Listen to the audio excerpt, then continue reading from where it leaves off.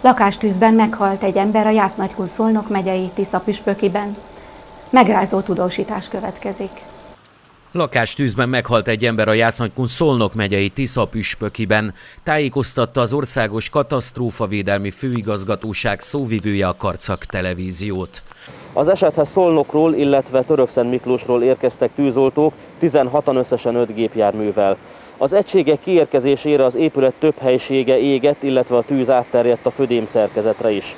A tűzoltók a munkálatok során két gázpalackot hoztak ki az épületből, illetve egy kutyát is, amely nem sérült meg. Őt a Törökszent Miklósi állatvédők fogadták be.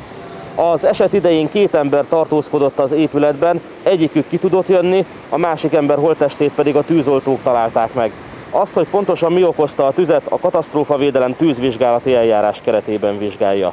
A legtöbb lakástűz figyelmetlenségre vagy elektromos hibára vezethető vissza, ezért hasznos, ha van otthon füstérzékelő hívta fel a figyelmet a szóvivő, hiszen az hangos sípolással jelzi a keletkező tüzet, akkor, amikor még van idő cselekedni.